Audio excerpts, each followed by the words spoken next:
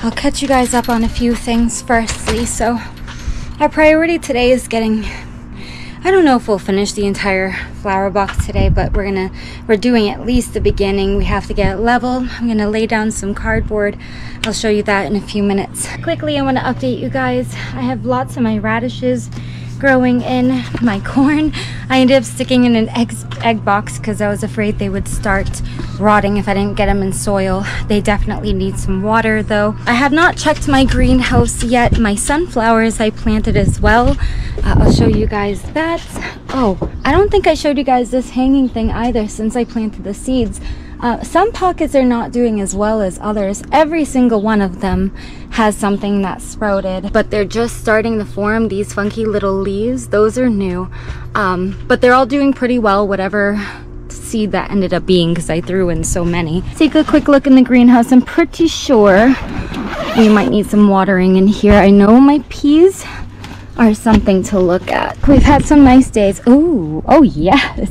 Okay, my peas have definitely had some growth. I just checked them two days ago uh, and they weren't as open as this. They had little leaves coming up, but they were still rather closed. So those were doing well and I want to get those planted as soon as possible. No growth on lima beans, green pepper yet, watermelon either, but I'm pretty sure those take a long time to sprout. Marigold definitely have some little seedlings here. Oh, yes! First sign of my lavender. This is the first day that I'm coming out to see signs of that sprouting. Um, my chives back there, nothing yet. And my cilantro and rosemary, nothing yet. Um, oh, these are more sunflowers that can go. They definitely need some watering, but I'm gonna pull them out. Um, you know what? Actually, I'm gonna I'm gonna give them a little bit longer in here, but they definitely need some water. Some more of my herbs. Oh, we got life in my thyme. Nothing in apple yet. I didn't suspect so, and nothing in cilantro yet either. But we do definitely have some new sprouts. I just want to give you guys quick update. So we I scrapped all, all of the mulch and all of the uh, plastic for now. We're leveling this entire thing, measuring it out. We're gonna throw it down cardboard like I was talking about. Luckily, we have plenty of it left in recycling um, or we end up burning it after a while but I'll use it for the garden. Tomatoes no real update on those I've just been careful to keep those well watered. Sunflowers these guys were planted those were planted and those were planted today. Everything else is older so you can see oh no the rock is crushing one of my sunflowers. Well, oh. Okay. Yeah, we're, so we're in the process I was in the middle of moving all of this dirt because we have this huge divot in our driveway that just causes me to have to come in very carefully to not ruin my car. So we're going to use a lot of this extra dirt to fill in that patch.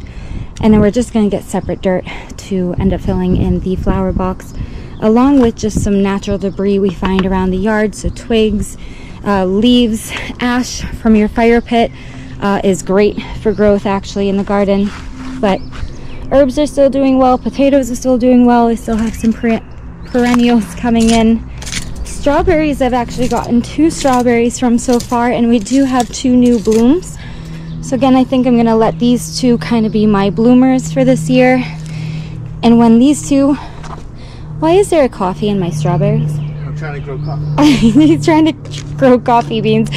and these two are going to be my growers. So we have my growers and we have my showers. these two I'm going to run the lines when they start vining out. Um, and I put in like these Dollar Tree trellises to help me start vining them up. Um, you want I like vertical gardening as, gardening as much as possible, but that's my little update.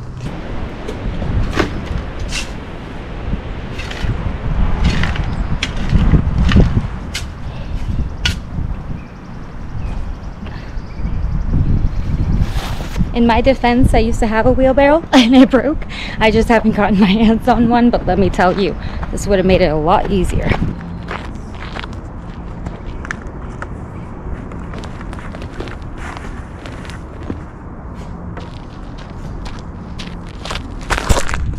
So that's what I'm doing over again and again and again. One other thing that I really wanted to do today was that I have this beautiful flower that comes back every year. And it comes back in bigger blooms. However, I thought that the same flower, I saw, I thought the same flower was also planted in this one, but I'm only getting these little tiny white buds. So I'm gonna take a little bit of this one and add it to this one. So next year, both of these planters are filled with the same flowers, but these are really easy to grow. I wish I had my phone. I'll put it in the description what these are. Um, if I had my Google Lens, I could tell you right now, but uh, I know butterflies are very much attracted to these flowers, but I just want to spread them out a little bit. Alexa, pause. Okay, you can see this plant has lived in here. You can see this plant has lived in here for a couple of years. Its roots are really well established. The soil is really compacted. So I dug a hole in my second one here. I'm just going to break up the root ball a little bit. Surprisingly, it was all growing on one side of the planter uh, in a large clump though, so it looked rather full. So I basically just took half of the clump and I'm just going to, oops, I may have taken the whole damn plant. I did not mean to do that. Hold on, I took the whole damn plant. it didn't want to let go. Hold on. This is still connected. What is it connected to? Oh, no, it's not connected. Wait a minute, what? I don't I can't tell if it's just tangled. I'm gonna leave it. I, I think it's growing out of the root still. I'm gonna it's still growing from a root. So I'm gonna leave that part and just replant it. I gotta try to separate these. Okay.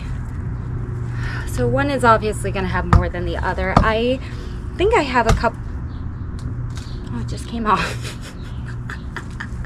I might have killed a couple flowers in this process. It's okay though. They are um, really resilient flowers. I there, there, was a time I didn't think anything was growing in here, and they literally sprouted one year. So they don't necessarily have to be baby. They might not do well the first year, but keep watering it the following, and they will sprout for you. So I'm just gonna recover these with dirt, give them pl plenty of water because I think we're both traumatized after this experience, and uh, I'm gonna go put them back Lord knows I need a shower today. Holy smokes.